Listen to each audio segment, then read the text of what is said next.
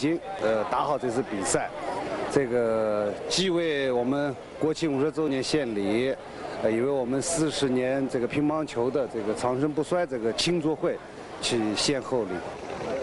代表团副团长张谢林以及参加国际乒联会议的成员、国际裁判等将于本周末启程。这是中央台报道的。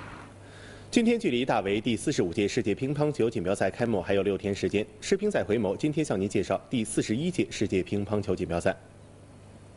一九九一年四月二十四号到五月六号，第四十一届世界乒乓球锦标赛在日本的千叶进行。中国队获得三项冠军，但男女团体双双失利。中国男队自二十六届世乒赛首夺男团冠军之后，至四十四届共参加过十七届比赛，获得十二次冠军、四次亚军，唯有四十一届未进决赛，并因先后负于捷克和韩国，仅名列第七位。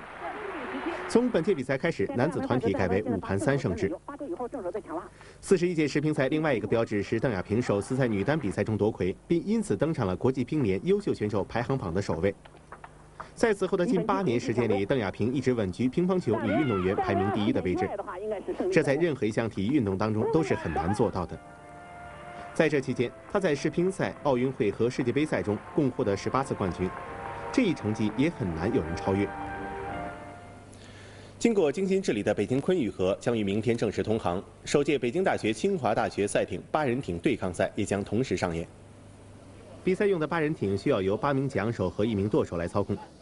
北京大学的八名桨手平均身高一米八八，平均年龄二十岁，平均体重七十七公斤。清华大学讲手的平均身高为一米八四，比北大队矮四厘米，平均年龄二十一岁，比北大队大一岁，平均体重七十五公斤，比北大队轻两公斤。两队队员均是来自两个学校的在校大学生。确实，清华实力应该说比我们略强，因为